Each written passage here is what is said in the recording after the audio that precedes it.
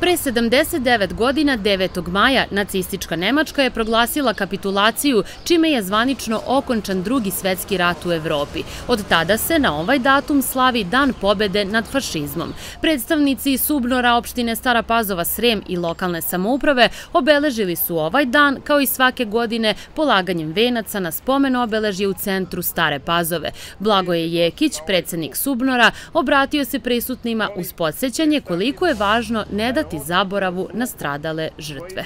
Najviše u jednom danu je stradalo u Surduku, to je 27. septembra, 22 ljudi je ovaj, pobijeno, a 150 je istog tog dana e, proterano u zarobljeništvo ili na prisilan, odnosno prisilan rad ili u logore. Najviše boraca sa teritorije naše opštine je stradalo na Majevici, današnjoj Republici Srpskoj, tačno 249.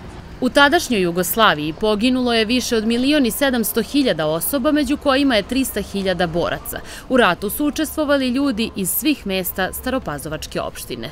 Mi koji smo rođeni u prvim posleratnim godinama, mi se tu borimo jer preživelih više nema koji su učestvovali u ratnim sukobima. Nažalost, ima sada ovi ljudi koji su nam se priključili i mi smo ih sigurno prihvatili i, ovaj, sve e, od ratnih sukoba 91. 99.